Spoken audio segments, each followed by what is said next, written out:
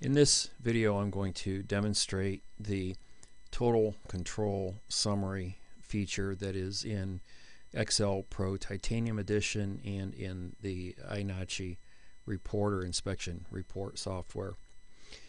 I've launched XL Pro Titanium Edition so we are at the start screen.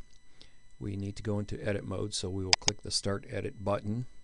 It'll ask us if we want to create a backup. I will skip this and say no.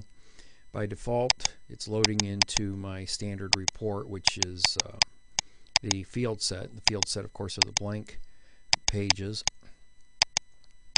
that uh, complement the omission guard pages. Now, I prefer to do my reports in the field